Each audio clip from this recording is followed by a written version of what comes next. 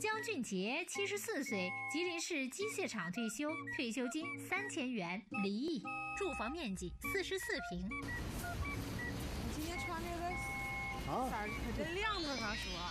哎呀，就这样，天天老头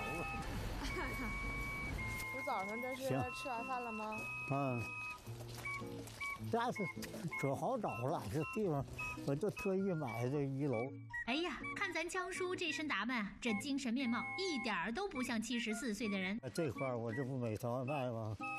我负责给这个门儿的，呃，九点钟锁门，五点半开开，就下班，屋里丢啥与我都没关系。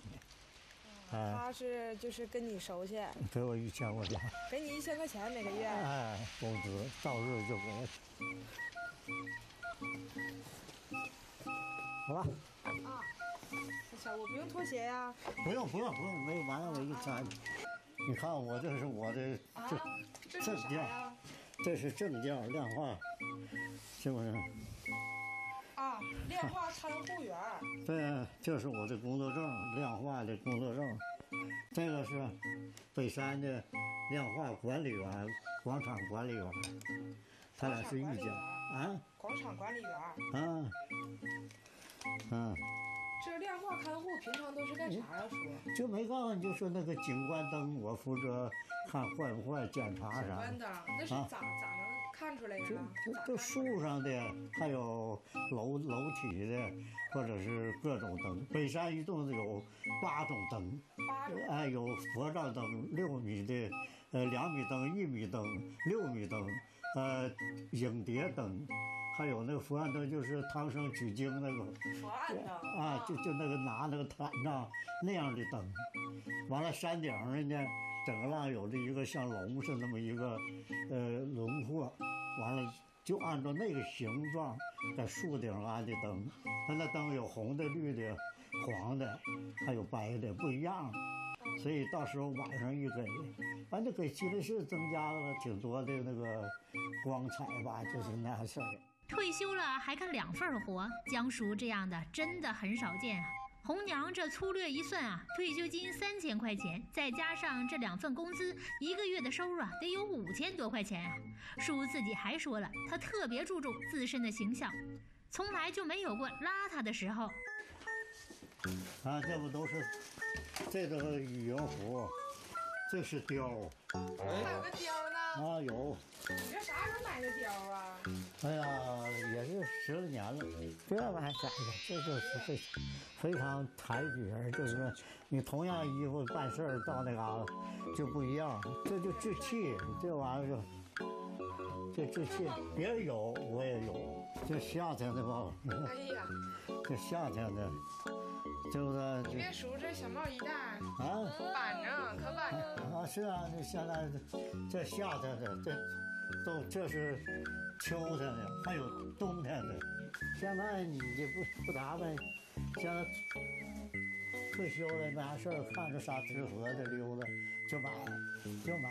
那你你像我这衣服，你看，你看那个，你看这衣服都 五十块钱，这这这哎呀，这时尚了，叔。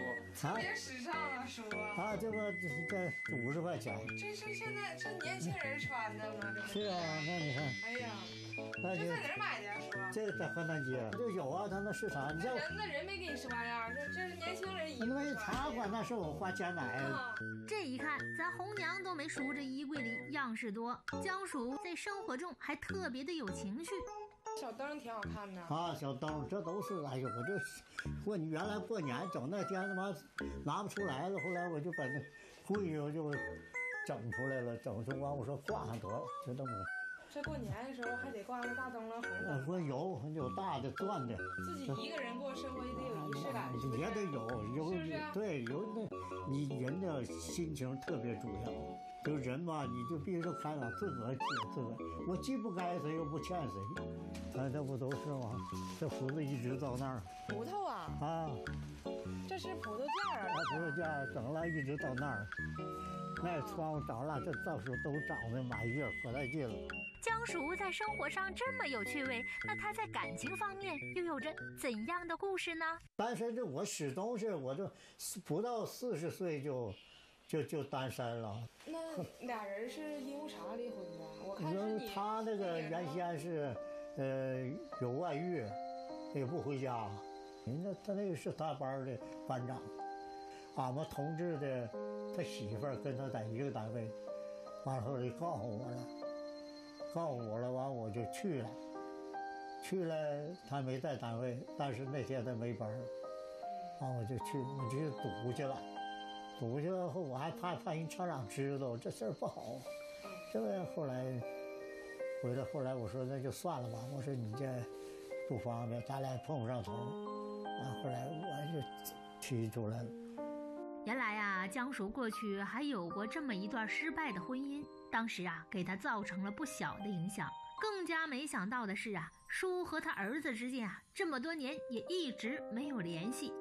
离婚之后跟儿子不联系，没有来往，他他他妈不让，他妈就包括我们家亲戚，就我妹妹啥的，就我儿子去串门的都不让，包括我这儿老二，又呃上班，完了又又开旅店啥的，我又给那就来了，老老爸我要装修房子没有钱，我说我给你拿一万，我说我也没钱了，给一万。完我说不要了，就给你了，你也不学花，那就这么。因为离婚的时候孩子很小，所以啊这么多年了，再见到自己的儿子，叔这心里呀、有着很复杂的情愫。我正好那个哎，这开关坏了，我我去找人接开关，我正好儿子儿媳妇抱个孩子，呃招呼我，我就站下来。哎，我说干啥来了？他说那吃饭呢。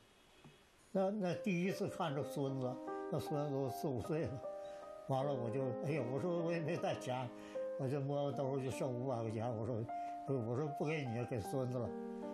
自打见到了儿子之后，江叔的心里呀、也发生了变化。俩人儿吧，这帮人讲说打仗去得有个人儿吧，对不对？这这善意的打仗，这这，你有的时候孤独感，要是让我咋说，去打麻将去，没事儿啊，上那去打麻将去，大伙嘻嘻哈哈的，这输个三头五百的我也不疼。现如今呐、叔也觉得自己一个人呐、到底不是回事儿。那叔现在想找个啥样的呢？那喜欢啥样的？啊、还是喜欢啥样的呀？找个就是说身体好一点儿，就是说长得吧高矮就胖瘦了无所谓，甚至说他没有工资都可以，哎，就是说人好点儿，我瞅着能说得过去。侯玉霞，六十四岁，低保，离异，住房面积四十平。阿姨，你这裙子啊，裙子，我搁家里我总是穿这身儿，我上哪儿我也不打外边套上一不是身。你这个裙子跟正常的它还不咋一样啊，里边是纱是自己配的吗？不是，这就是围巾套，啊，围巾，围巾，我总是这种呃衣服。总是这种风格呗。这也是自己配的吗？这个对，这都是小胸针对，哎对。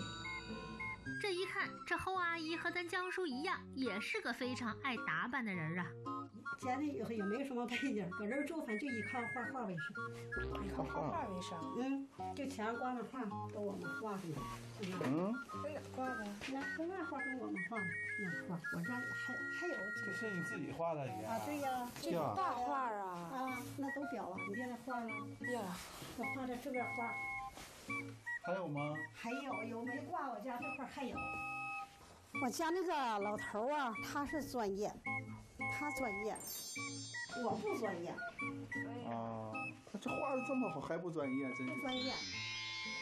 这个图是这图画的是这这都是《红楼梦》仕女图，仕女图仕女图，单立人搁个，呃，就是，寺庙嗯，四个这，四吗？仕女仕女图，啊，仕女图。这个是谁呀？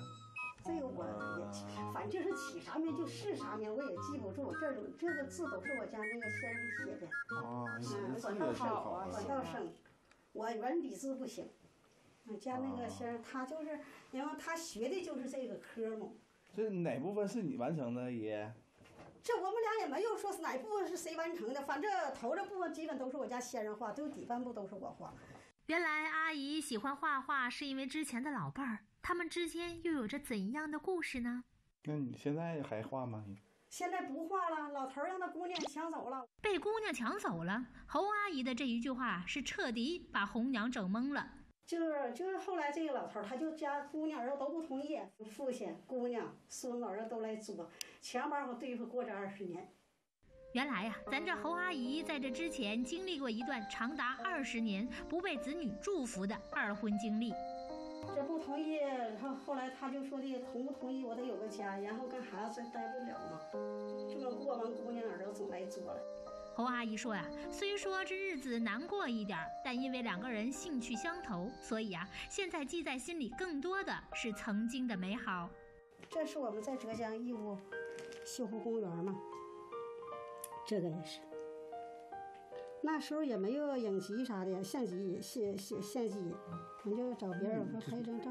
我们很少走上旅游景点不去，就是搁大街上，我整个车子摆的像，完然后就坐那里画，有有人就画，画完了要是没人画了，我俩唠着车就接着再走，我也不坐车，也熟悉熟悉那里地方嘛，啊，完就从哈尔滨那时候开始走，一直往南走。就坐车就下车，下车到那块儿，像哪个城市里下来就坐那里作画嘛，做完画了，完这要没有人画，我俩接着坐车再走。啊，一路就这哎，么就这一路。哎就往南走啊，边走边画。去年我俩的一约会，我说来年呢哪块都不让咱们俩待了，咱俩就不画了，不画咱俩背着画夹吧，咱俩上云南上大理，我说咱俩连旅游到那里溜达玩玩。要一天两个人活吧，挺浪漫的。完然后呢，你在外边花挣的钱也够吃够住，完挺有意思的。嗯，嗯。因为不可调和的矛盾，侯阿姨和钱老伴儿最终分开了。几乎就是就也一八年到这一九年，就这一年作的厉害，三天五头就了，三天两头就来到这狼窟尾好作。所以啊，现在的侯阿姨再找老伴儿有一个必须要讲的条件，那就是对方的儿女必须支持。在此之上，我们再看其他的方面。那阿姨再找的话，两个人在一起对对方还是有啥要求？对对方啊，干净利落就行了，也没有太多的要求。他有啥家当我也不要，就是说这个人吧，不能超过七十五岁，因为年岁太大了，咱们说金婚不起，再有病有事儿。真的路程越来越近了，你说离西安越来越近了，咱们就是经婚不了。然后再好好的过他几年，是不是？携手再过几年，这不都老了，就该去到另一个世界了。经过这一天的了解呀，侯阿姨需要一位能够给她带来安全感、没有负担的好男人。你吃个果儿吧，我给你扒靴子。不不用不用不用不用不用，我自己没事。妈，那这现在天天都干啥呀？退休了吧？退休我这个在莲花办啊当管点技术，啊就当天检查检查哪嘎达坏不坏，啊啊完了剩下啊！是反正这待着没意思，因为我在这个单位已经退休，就在这干十二年了。啊啊！侯阿姨在之前的感情里付出了很多，最终什么都没得到，所以啊，现在很难再信任对方了。虽然是想和对方实心实意过日子，但登了记呀就没有劳保了，那干脆呀就不登记了，一次性要些养老钱，好给自己一些保障。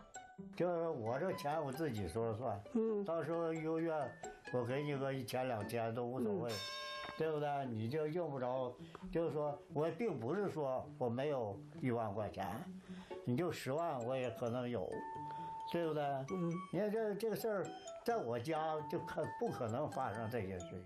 相熟啊也理解对方，了解到他之前的经历，所以现在有很多的顾虑，也承诺了在一起之后啊，每个月的工资可以交给对方。但是阿姨的心里啊，还是没办法给他直接的信任。你是说呀？是这么说，到老了吧就有权不当令了，知道吧哎呀？，当不当令各过各日。权利你是有，但是你不当令，说话不好使啊。你可以遗嘱去到去到那遗嘱啊，我这块还有遗嘱呢，遗不嘱你好使。你得上法院上那个人家姑娘儿女这么说，这房子害我妈妈在四前就那时候就有这房子，与那个没有关，找老伴儿登记了就得给一半。我这个记登不了啊。行，完了我考虑考虑，是不是啊？行，考你考虑考虑吧。郭春华，五十三岁，长春市制药厂退休，退休金两千三百元，离异。我现在就是，就我就我自己，现在就房子这个是为了岁数大了不方便，就买的一楼，就这么个事儿，反正没啥负担。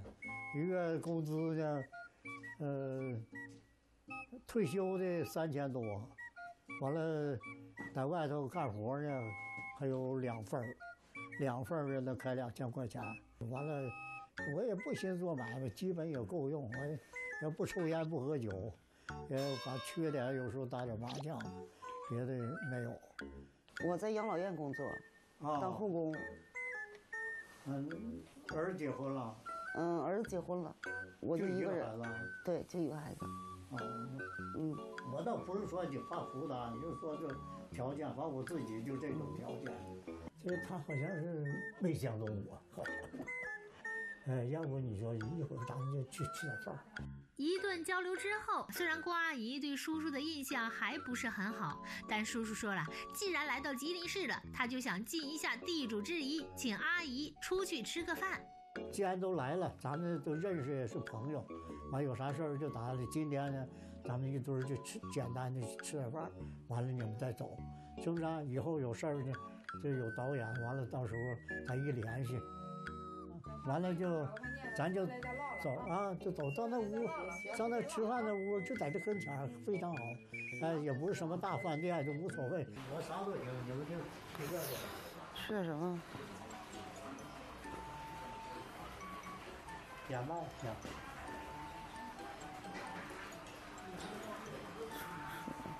你想吃什么就拿个金南瓜拿就行。都行。好，我不过再点过来。茄菜。来俩。你不喝点酒啊？我不我不会烟酒这都你都不会呀、通通不行。看这些菜，足以见得江叔对阿姨有多么的上心啊！郭阿姨呢，多多少少也感觉到了叔叔的心意。我没有房子，啊，我没房子。没房，我这我的房子呢，呃，是我儿子结婚的时候我卖了。那行。我搁搁长春呢要了一个公租房你，把自己还没下来的，你有饭家的事儿自理的。你自己安排。我家儿子呢，嗯、大哥就是说的，今年三十二岁，去年结的婚。啊，儿子现在呢不怎么太着家，嗯、搁深圳那边呢，嗯、有一个酒吧，搁长春。退休开多少钱呢？我退休是开两千多块钱儿，完了这又上班。对我又上班。我跟你说啊，这用不了这，就是钱吧，不用太多，时而可止。再说你那是我这，我也没谁给的，我从来就这么想。来，我我的性格是比较安静，嗯、不喜欢说这成天那吵吵闹闹的，啊，反正可能是一个人习惯了就行了我，安静。你就不干了那活儿，回来吉林想干我给你安排，哎，就是说完全可以。看咱江叔说的，有他在，阿姨都不用出去干活，他挣的钱养活两个人，那是妥妥的够用啊。找一个人就要，嗯，哎白头偕老。这个因为我单身三十年了，我想找一个人呢，就是说的过到老，就是走到，老，就是后半生的伴儿吧。就是后半生的伴儿。就完事，你就是有钱，晚上了，你说有病了上医院。要说这我要不管我儿子，那哪个当父母的都不不可能说不管自己的孩子。反正我这条件得怎么说呢？我这条件说好也不好，说不好呢哎呀，还凑合吧。这钱就不错，有两千多块钱吧。就是说呢，要包括你在内，我跟你说，我你的所有的你说房子啥都给你儿子，我什么都不要，我就要个人，别的不要。家有万金，不如有个好老伴儿啊！咱江叔真是相中郭阿姨了，啥也不要，就要你这个人。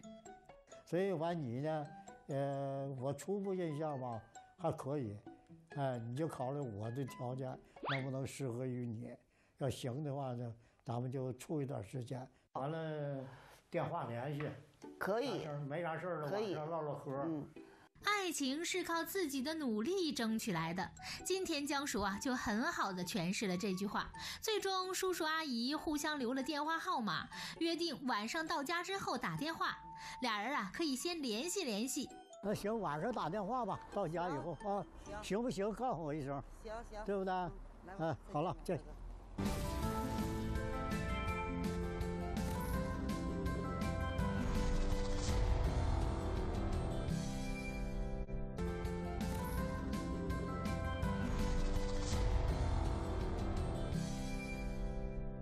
刘晓东，五十六岁，环卫卫生管理处工作，工资四千六百元，住房面积五十六平。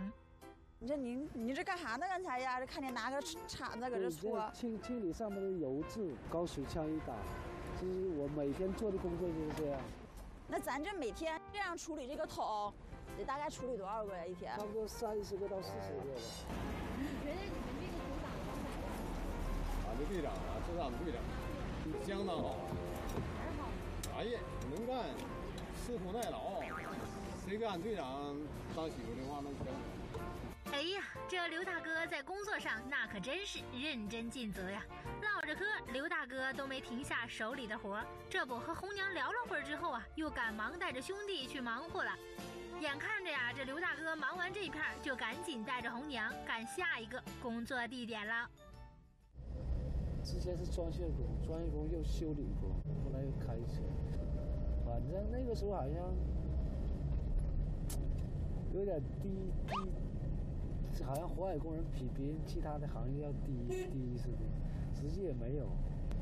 这个单位正式工少，就是公益岗和临时工多。嗯。那您最开始来的时候是正式工吗？对，是啊。八零年参加工作就是正式工。还有一个最主要是，现在没有没有编，现在没有编。那您呢？我是在编的。在编的。在辽源市来讲。工资这么高的很少很少，没有。那在单位呢？在单位您这个工资也是挺高的吗？也算但高，因为我这个年龄的比我低的太多了。那为啥您的工资比他们的高呢？因为一是工龄，另外一二就是，因为他们都是级别没有我高嘛，我这边是高级嘛。有的是初级，有的是中级。我一个我一个我一个同事，我管他，也跟我开一样的车，也是。他还比我大呢，他就是连初级都没考上，去年他考初级都没考上。那您呢？我你你是一次考上的吗？我是一次考上的。看咱刘大哥啊，在单位不仅是正式在编的员工，工资在单位呀也算是拔尖的。红娘了解到啊，这刘大哥每个月有四千六百多的工资，这在辽源呀也是比较高的了。不过这一切啊，都是因为刘大哥对自己这份工作有着这份认真劲儿啊。这刚到工作地点啊，眼睛就盯上地上的活了。这平时也是你们要做的活吗？要要做这个，这个太脏了，要不然看着不舒服。看着不舒服，就是顺手给它刷一下。我们顺便也要刷那个桶。一上午的活啊，刘大哥就带着红娘回到了单位，做好收尾工作。眼看着中午了，每天工作地点、站点、家三点一线的刘大哥，准备带着咱红娘回家看看。五楼，到了。到了。进进来。那你这屋收拾不是挺干净的吗？干净啥？就是随随便。多少天收拾一次？随时就收拾，也不是说是多少天，随时就收拾了。就看着不对了就整一下就完事儿了。参观一下可以不？可以，随便，这是自己家嘛，随便坐，随便看。咱这房子多大的？五十六点五十六。五十六。进来。随便这阳光挺好啊。对。你平时住不住这屋呗？哪儿都住，我自己想，有时候在沙发上睡了，有时候跑那个床去睡。房子没有那么大哈？那干净啊！你看这小屋收拾的多利整啊！干净啥？干净。这刘大哥呀，真是个勤快人，这屋收拾的是立立正正的呀，这居家的品质可是一个加分项啊。不行。我的天，这打麻将不是挺大呀？嗯。没有这个，我家五姊妹，全部愿意玩的，你知道吗？我姐说，何必上家打麻将？咱买一个呗。平时喜欢打麻将啊，还是不喜欢？喜欢打，年龄大了不想，天天多累呢，多烦人。那以前有没有因为这个就是影响家庭呢？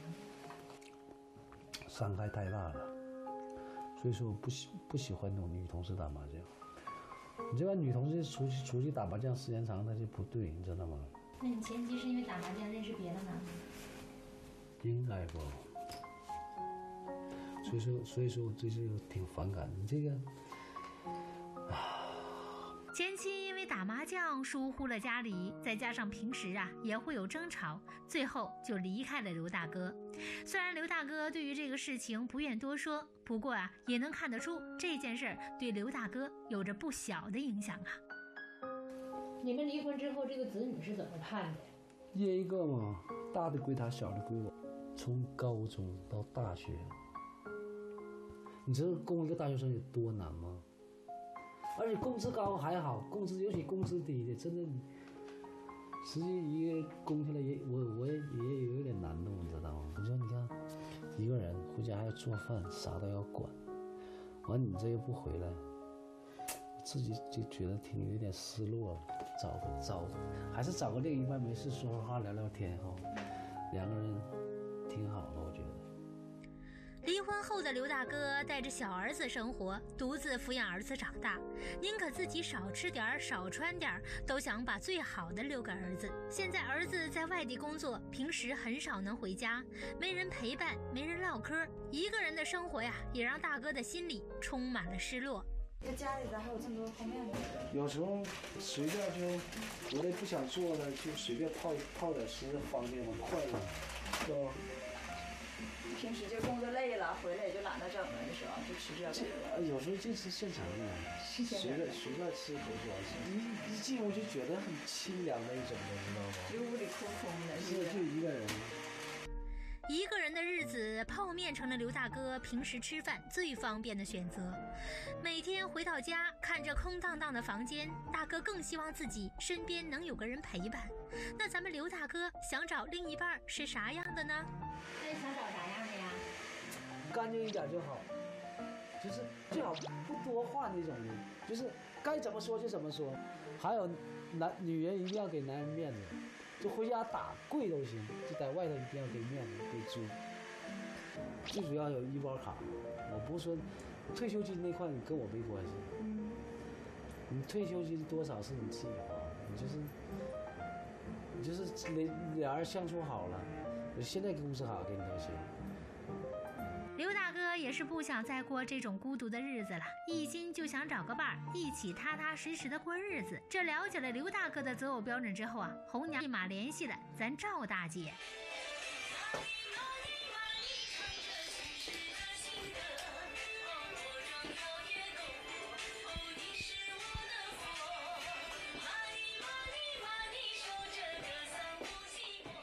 不行，挺好的。淑芬，五十八岁，一汽退休，退休金三千元，住房面积七十四平。我上老年大学的时候，就是那个老师就说说的别人跳舞吧哈，是锻炼，他说你跳舞你是喜欢。反正一天也没啥事儿，上午呢上社区跳跳舞，下午回来中午吃点饭睡一觉，然后看看电视，看看书，织织毛衣，就这样。就这么过也二十来年了，二十来年，那可不。赵大姐独自生活了二十年，一直做着自己热爱的事儿。从年轻的时候开始，就充满着文艺气息，到现在参加着文艺活动，这也让大姐一直保持着年轻的心态。这是我写的那个标兵的风采，获二等奖。这个是一九九三年，这是全国的职工读书知识竞赛，获得一等奖。这个我们单位还特意给我讲呢。你看，这是特约通讯员，通讯证《长春日报》的，我也会定期给他投稿。咱看看啥呀？嗯，这还有照片呢。赵大姐年轻的时候不仅爱看书，还参加了不少的竞赛，让红娘对赵大姐呀也是有了不同的认识啊。也是因为自己对文艺的喜爱，让大姐遇到了当时有着同样爱好的前夫。他爸歌唱的特别好，我前夫 歌特别好。说心里话，那时候跟他在一起，我们在图书馆认识的嘛。然后也是他送我回家，他就这一路唱歌，就唱那个过去费翔唱那个。什么？你的大眼睛，美丽又闪烁，我就感觉他是唱我，你知道吧？那时候年轻的时候眼睛特别好看，但现在完了。原本两个人应该一直过着幸福的生活，但慢慢一切都变了样。丈夫的懒惰也让大姐伤透了心。因为我家孩儿的爸爸，反正说心里话也挺浪漫的，但是就后期可能就是有点懒惰，就是不为这个家负责任。我做人流那啥就是怀孕了，然后就去去做人工流产。他把我送那块去做完了，他也没去接我，反正挺伤我的。完了后来就是总吵闹，谁不理谁，感情慢慢淡了，淡了就分开。那时候他是是忙忙啥去了？玩儿去了。他那时候他没啥，没有工作都。之前的感情经历让赵大姐对于之后的日子有了自己的想法。我在沙发上躺着，烧了一壶水，我就往起一起，腰一下就扭了。啊！三天没动弹，完了，我那时候就觉得身边没人真的不行。有时候就寻思，我要是找到一个不用别的哈，每天早晨可以一起逛早市儿，买点想吃的东西，比如说回来他做饭，我就会收拾屋子，或者我做饭，你稍微整理一下，是不是？你今天白天出去了，我在家我就会做好饭菜等你。如果要可以的话，两个人一起出去，不就更好了？要是能找到一个合适的，多理解，多互相理解，多站在对方的角度哈，多考虑问题。两个人相互理解、相互陪伴、温馨体贴的生活，成为了赵大姐所期望的。红娘带着赵大姐的这份期望，带着刘大哥来见咱们赵大姐了。过来，姐。看看起来蛮干净、蛮利索的人。哎，看，我给您介绍一下子。这个是刘晓东，啊，李晓东，然后给我跟进来，这个是叫赵淑芬。刘大哥从辽源到长春来见咱们赵大姐，原本应该到咱大姐家里看看，但因为一些特殊的原因啊，就把见面地点选在了公园儿。我原来吧哈，他们别人给我介绍一个，就是人挺好的，但是一喝酒吧，他可能就是有点变样。完了分手以后，他成天上我家门口找我，就成天跟那堵着。我就实在是 都觉得太难为情了。我心话，这还没处咋地，等以后要是如果说两个人处好，那必须得到家看看，那是很正常的。但现在吧，就是我感觉就是 单身女人嘛，我轻易不愿意让人上我家去。让我犹豫的就是，本身吧哈，两个人认识以后，你不得互相交往吗？嗯。太远了，就好像是了解的就不是那么方便。我看他那块儿有点够呛，完先加微信聊一下，说一下，去讲去说。哎，然后添加到通讯录。俩人留了联系方式啊，这天也晚了，刘大哥就送赵大姐上车回家了。好嘞，哎呦，拜拜，谢谢啊。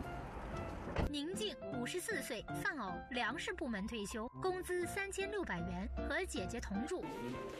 就吃了水果。然后给介绍一下子，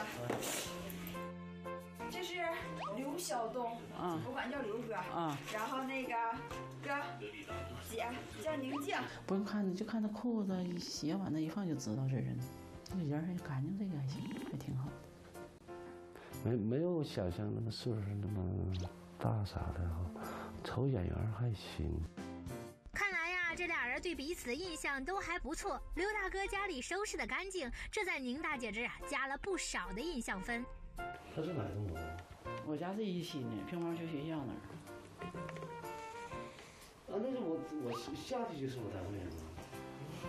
这多近呢，是不是？嗯，七八分钟走到了。是，你看我天早上天早上走的，那我单位就在那下边。原来这宁大姐和刘大哥虽然住在一个小区，但两个人之前啊从没见过面。有着这样缘分的两个人，能擦出怎样的火花呢？你好，我我在环环卫处上班。环卫处啊？那你今年是多大岁数？我今年五十七，属兔。属兔的哈。你环卫处干什么工作呀？开车。开车的。你那个一月工资多少钱？四千六七百块钱。要是退呢？退休也能退三千五。姐也是今天赶休息。姐昨天上班了。上班了。我上一天歇一天。在哪儿？在竹来树啊。竹来。就是那个龙吉花园正大门对面就是。那是上一天呢还是上我一天？上一天，嗯，早晨十点半到晚上十一点半，早上几点？十点半，中午十点半去。嗯，半夜啊？半夜十一点半下班。干啥呀？在我是打扫卫生，就是包房谁走了，就把这单子给铺一下。你这这这工资不高啊？应该一千八，都是一千八。原本可以过过悠闲的日子，但是大姐觉着，就算退休了，也应该干点啥。她说呀，工资多少不重要，重要的是要有点事儿干。那个，那你跟那什么呢？你是离婚的呗？对对。还联系吗？电话都没有，谁谁联系谁呀？离婚多少年了？十多年了。那你是男孩儿女孩儿啊？男孩儿。嗯，结婚了呗？没有，在长春长春一去。哦哦哦，多大还没结婚呢？二十二。那还那么小呢？嗯。那个两个呢，那个、啊那个那个大的归归他妈了。哦，都是男孩啊？对。哦哦，人还行，但是有一点没相中，我我的条件就是这样，儿子儿媳妇儿，反现在得去照顾，马上要生孩子了，年底生孩子，这期间我也得去照顾。啊，那嗯，这个那那那那都是正常事。这刘大哥的儿子没结婚，让宁大姐心里啊多了一些顾虑，自己要去照顾快要生孩子的儿媳妇儿。刘大哥的儿子啊年纪还小，宁大姐认为啊、以后生活也是有着不小的负担呀。我就是我和我姐，我姐残疾人，她不会说话，反正我走哪儿带着哪儿，她是得带着，要是她一个人不行。多大岁数了？五十七，属兔的。啊，跟我同岁。嗯，属兔的，但是有一点，她有工资，有退休金。嗯嗯。哎，那她有低保吗？没有。嗯，以前有，都退休了没有了。哦。嗯，有退休金一千八百多。他哪单位的？棉织厂的。那就是他平时咋能自理呢？也比我都干净，那家收拾的，收拾家做饭都会，就是身边得有人儿，他找人儿，自己不行。嗯，咱说都是一奶同胞，你你他也吃不着喝不着，你是搭把手而已。嗯，对，就是照顾他这样。这也很正常的。宁大姐说了，这以后过日子，姐姐是一定要带着的。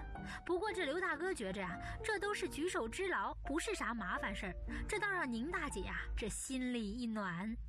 我们俩是单位，一个单位的，一个单位的。是灌面厂。对，他是。我知道面粉厂，我不知道灌面厂在哪。就一个那个那个什么一粮库院里，完了那个我是十八上单位上班，我那时候年轻，那时候穿的还喇叭，喇叭裤，个儿还高。领令一进院的时候吧，我们厂子二百多人都看，他就从那开始就相中了。那时候我们不是一个车间，我是食品车间，他是挂面车间。上了一年多以后，完了就给我分到他们班儿。他打面，我是那个看杆儿。一来二去的就是追，也这也是小，就打打闹闹的一天，哎，觉得也也挺好的那时候。后来他得病的时候啊，就烦我了。就我一到他跟前儿啊，他就告诉我：“你别上我跟前儿了，我烦你。”完了，他妈还说：“他临死不留念，就怕你想他，他不让你想他。临死的时候真的，他都没闭眼睛。”宁大姐的丈夫去世之后，家里的重担就落在了大姐的肩膀上，一直忙着照顾儿子，没考虑过自己的个人问题。儿子结婚之后啊，这才开始有想给自己找个伴儿的想法。那个，我想问一下，如果假如说结了婚以后，就是这个工资钱你怎么支配？两个我也有工资，你有工资，怎么支配这个生活？你的工资你自己留着呗，跟我没关系，你自己留着。开销了由我来开销。嗯，可主动点。幺三几？幺三九。幺三九多少？刘大哥和宁大姐相互了解之后，也让咱宁大姐放下了一些心里的犹豫。这俩人相互留了联系方式，想要以后俩人慢慢了解，慢慢相处试试。给你标上啊。